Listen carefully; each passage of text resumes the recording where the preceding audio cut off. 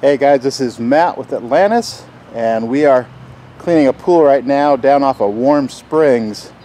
And uh, a minute ago I was vacuuming and and my son here, Josiah, said, hey dad, turn around. And so I turned around and there's two deer here. I don't know if you can see them. see if I could kind of got a glare here. They're just sitting there. At first, my son thought they were lawn ornaments.